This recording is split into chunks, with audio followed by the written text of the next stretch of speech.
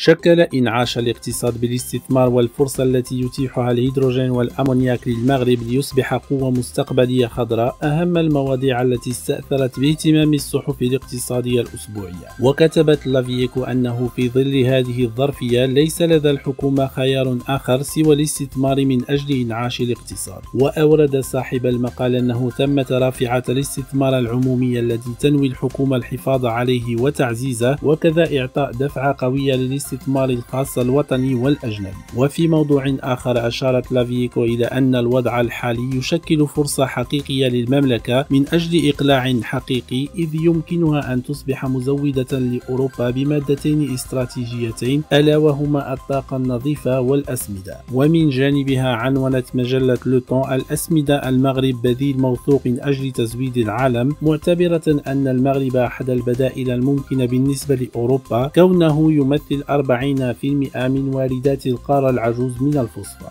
هذا وتطرقت المجلة أيضا لملف السدود مؤكدة أنه لأجل تدبير مثالي لوضع الإجهاد المائي المتواصل منذ عدة سنوات استثمرت المملكة في مشاريع كبرى من أجل تأمين تزويد الجهات بالمياه. وفي نفس السياق خصصت تشالنج ملفها لهذا الأسبوع للائحة استبعاد الزراعات المستهلكة جدا للمياه مبرزة أنه أمام ندرة موارده المائية. بات المغرب مطالبا باتخاذ خيارات جديدة في عدة مجالات لا سيما الفلاحة التي تمثل ما لا يقل عن 85% من الاستهلاك السنوي المباشر للماء. وفي موضوع آخر اهتمت تشالنج بثلاث قطاعات أظهرت صمودا ونجحت في رفع مداخلها عبر التصدير وذلك بالرغم من صعوبات ما بعد كوفيد 19 والأزمة الروسية الأوكرانية والجفاف. ويتعلق الأمر بقطاعات الفوسفات والسيارات والفلاحة والصناعة الغذائية التي مثلت